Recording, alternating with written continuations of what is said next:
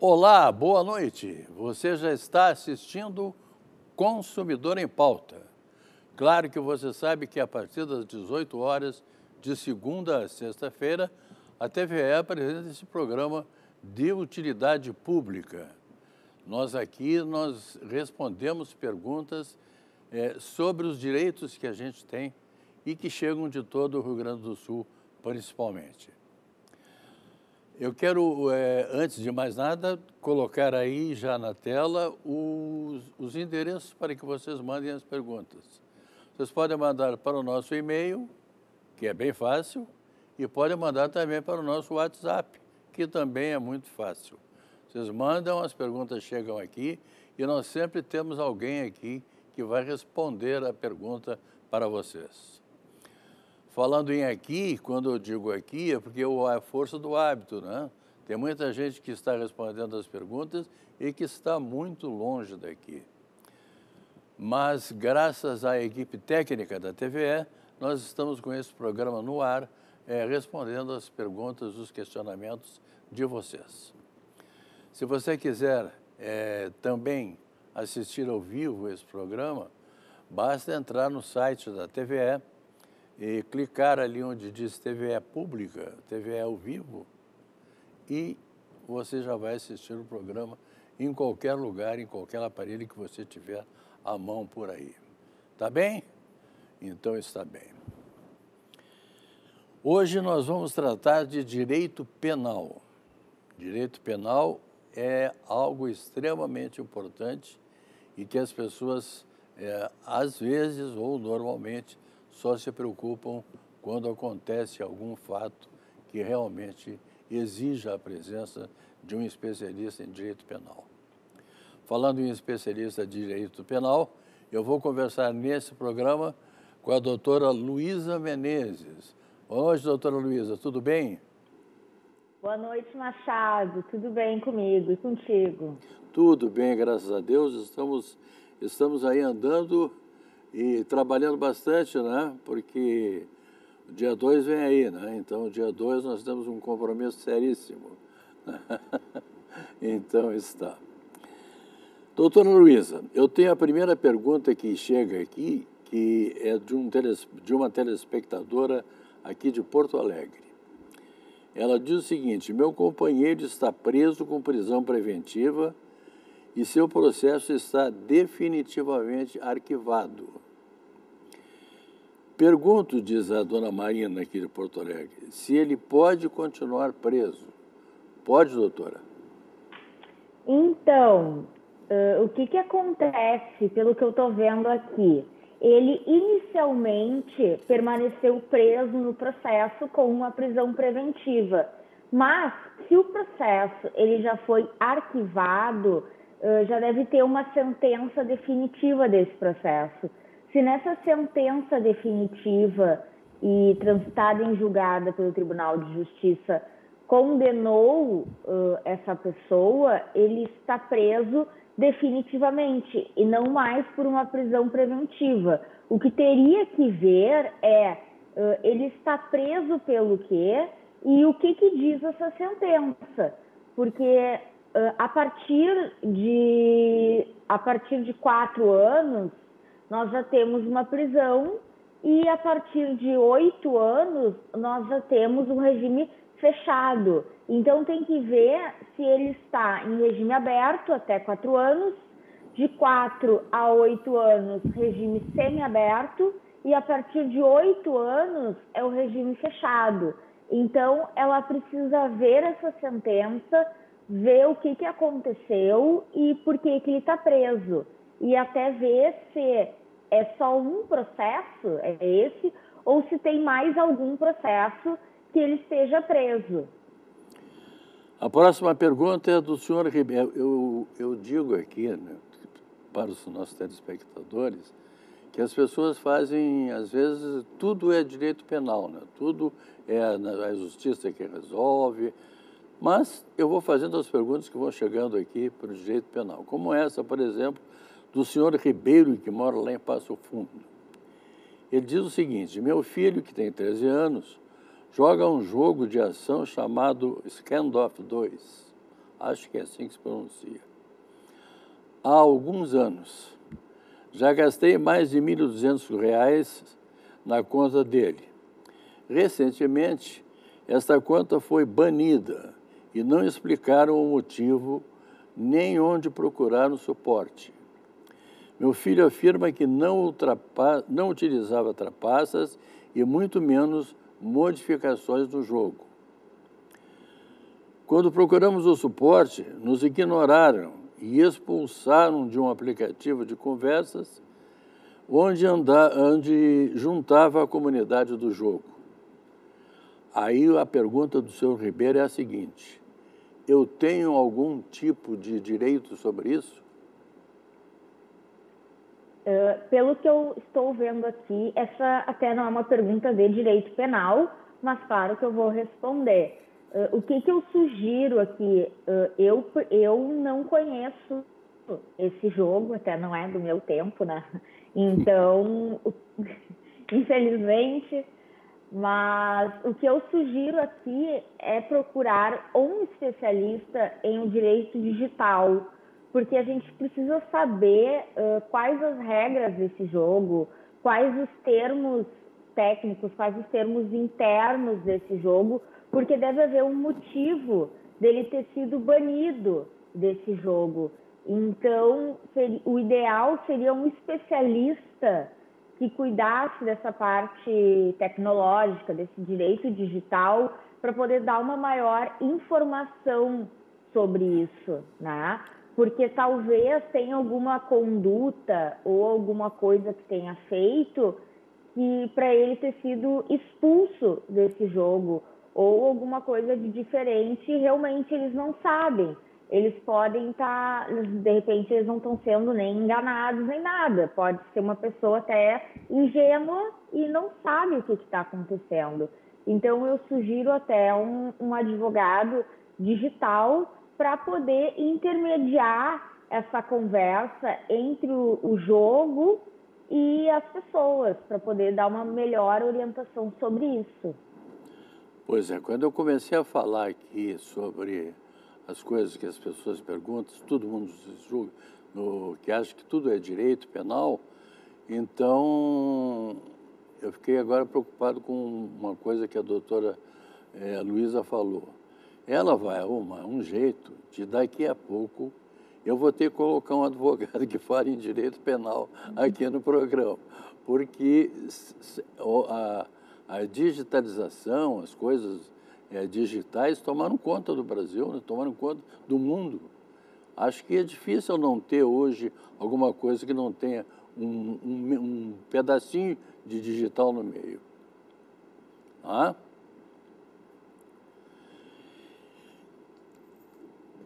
Tá. Direito digital, claro que eu quis dizer foi direito digital, exatamente. Está me corrigindo muito bem aqui a, a nossa produção.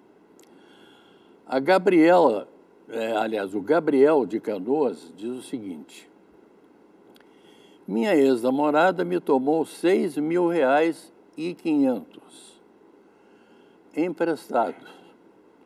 E agora, no fim do relacionamento, disse que não vai me pagar. Chamei para um acordo, mas disse que não paga. Tem provas factuais como extrato de todas as contas, é, as transações também. Gostaria de saber se há algo que eu possa fazer diante da lei. E desde já agradeço, diz o Gabriel, lá de Canoas.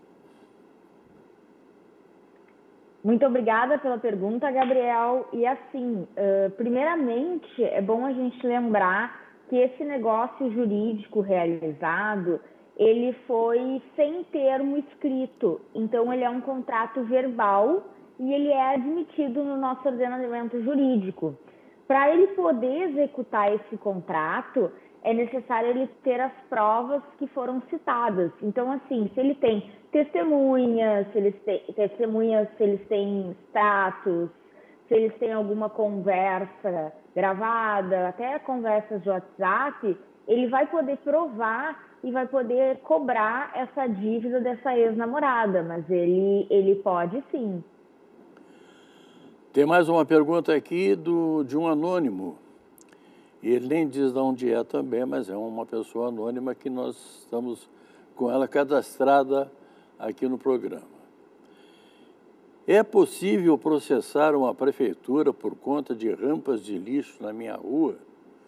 É, postos que nunca funcionam corretamente por falta de iluminação, falta de calçamentos, etc uma vez que sou obrigado a pagar um IPTU altíssimo, e daí ele é obrigado a pagar o IPTU e conviver com esses problemas todos, doutora? Ele não precisa conviver com esse, todos esses problemas, mas obrigado a pagar o IPTU, sim.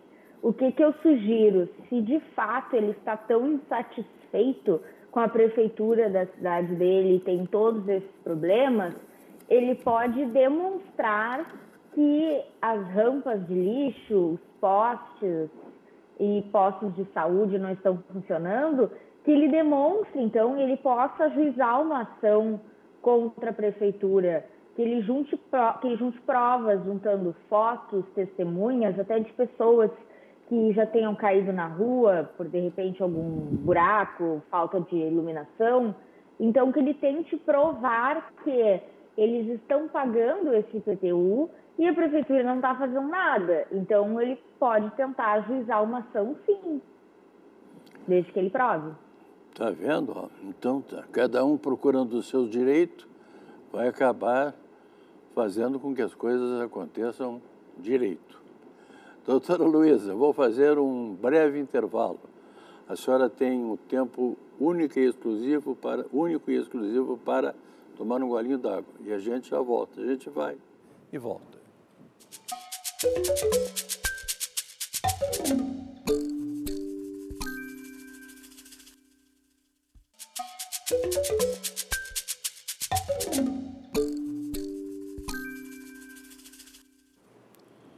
O programa que você está assistindo é o Consumidor em Pauta. E hoje nós estamos é, tratando de direito penal. Esse programa está no ar graças à equipe técnica da TVE, que usa a internet para que a gente possa é, permanecer com esse programa a vida toda aqui no ar. Quando eu falo a vida toda, é todos os dias, né? de segunda a sexta-feira. Então, vocês é, podem fazer as perguntas para a gente através desse endereço que a gente coloca aí no ar. Vocês podem perguntar através do nosso e-mail e pode perguntar através do nosso WhatsApp também.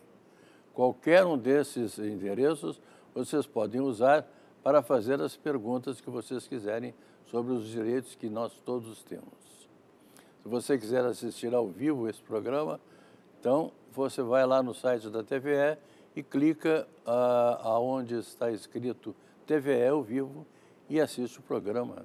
Até por telefone, tem telefone que dá para assistir o programa. Aliás, os telefones estão cada vez mais modernos. Bom, mais antigos eles não vão digitar, né? mas mais modernos eles estão. Doutora Luísa Menezes, é especialista em direito penal. Vou lhe perguntar agora mais uma vez a pergunta que chega aqui de Porto Alegre mesmo, da dona Fernanda. O cartório não aceita documentação para emitir cancelamento da alienação fiduciária. O jurídico da financeira alega que a documentação está correta.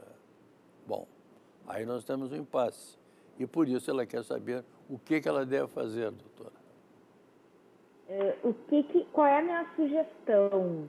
Uh, ela precisa realmente confirmar com a instituição financeira se de fato a documentação está correta, confirmar se ela já realizou o pagamento integral da dívida, da alienação fiduciária, e a partir disso ela pode ir diretamente ao Detran, tá? O Detran da cidade dela, que no caso Porto Alegre, ela vai ter que ir lá com a documentação do carro dela que ela possui ela vai com a carteira de, com a, com a carteira de motorista dela, a habilitação, e ela vai pedir para levantar o gravame do carro. Quando nós quitamos um financiamento, a financeira ela manda diretamente, né, internamente, para o Detran esse pagamento e a partir disso ela, eles levantam o, o gravame.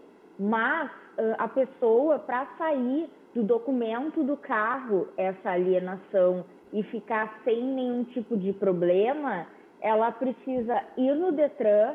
Eh, se eu não me, se eu, se eu me recordo, tem que pagar uma taxa, inclusive, para o Detran, e a partir disso vai ser emitido uma nova documentação para ela que vai chegar na casa dela. Ela vai ser emitido um novo um novo documento do carro com a retirada desse gravame.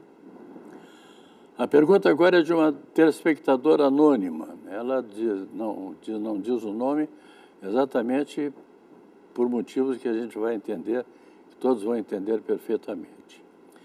Trabalho com três pessoas eles me humilham demais. Me chamam de feia, de palhaça, de bruxa. Não estou mais aguentando tanta humilhação. O que devo fazer? Tem noites que só durmo à base de remédios porque fico chorando, lembrando da humilhação que sofro. E o que, que ela faz, doutora? Olha, ela está num ambiente, pelo que eu estou vendo aqui, que ela não é bem quista. Seria bom se ela pedisse demissão desse, desse trabalho.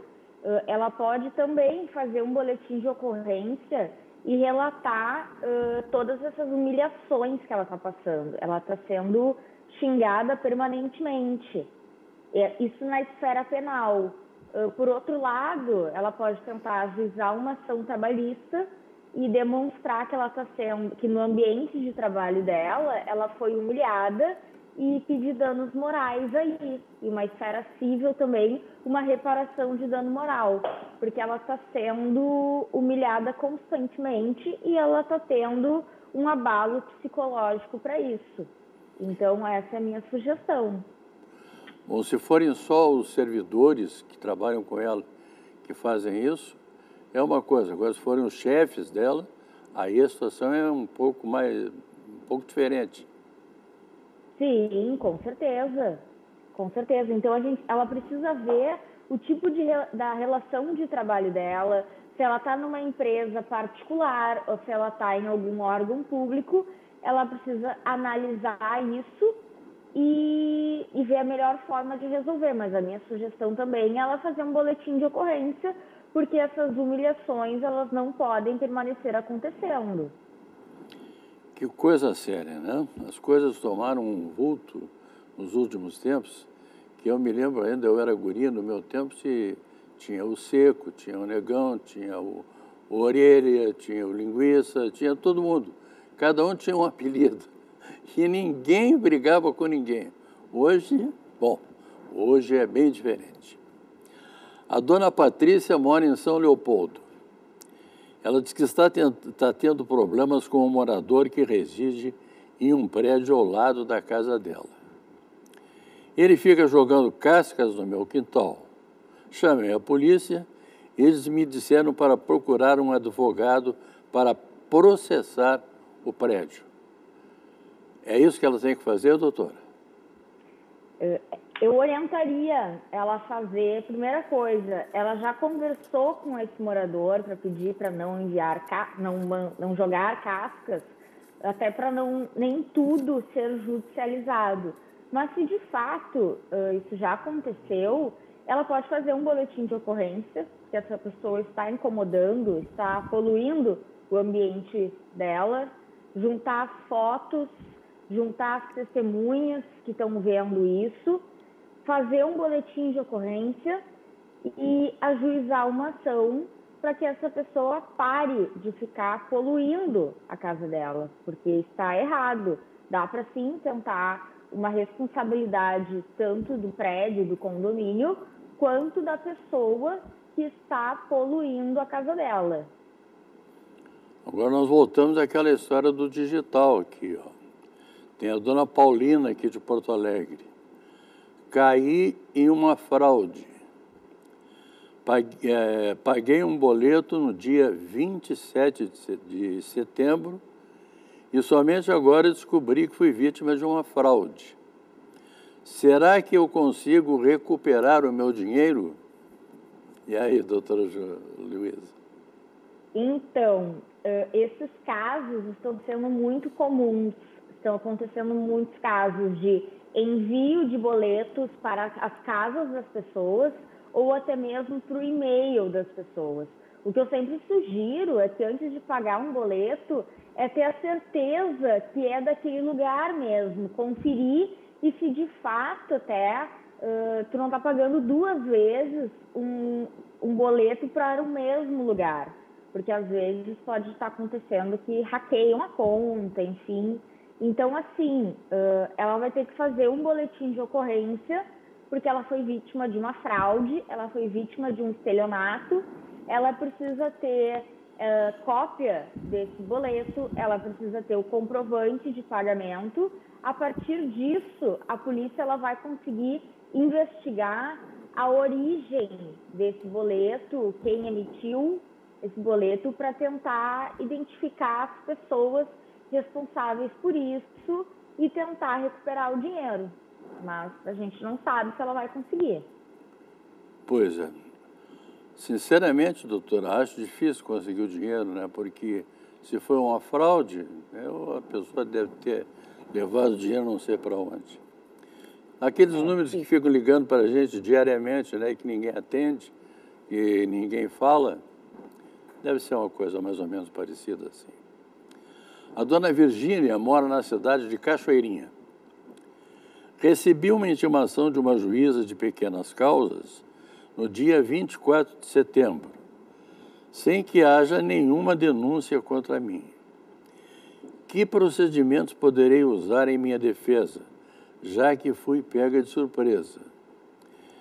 Ela disse que poderia constituir um advogado ou, se não tiver como pagar, um defensor público estaria disponível. E a dona Virgínia, lá de Cachoeirinha, diz que não sabe nem do que se trata. Sim. Ela precisa pegar essa intimação da juíza e levar para um advogado ou até mesmo para a defensoria pública, caso ela não tenha condições. Ela precisa se informar sobre o que, que é esse processo, que a pe pequenas causas era como se chamavam antes o juizado especial civil, é o nosso JEC.